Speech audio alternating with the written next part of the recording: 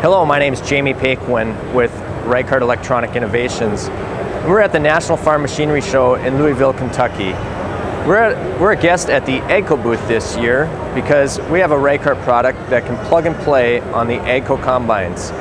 We happen to be in front of the new S88 series Gleaner combine and the Reichhardt GPS system can plug and play on this machine and show up on the factory installed C2100 screen. So you don't, through ISO, through the ISO virtual terminal, you don't have to add a screen into the combine. In addition to that, we can do our tactile row guidance as an add-on kit to the combine and we can guide directly down the corn row without GPS. So what makes the Reichhardt tactile row guidance unique is that it can be mounted on a single corn snout and it's very durable and rugged. It uses a Hall effect sensor to guide down the row. You can completely back up with it and you're not going to damage the sensor.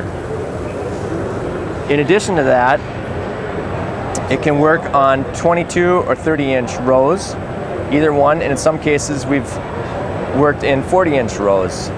So it's not just for the AGCO corn head, it can work on other aftermarket corn heads.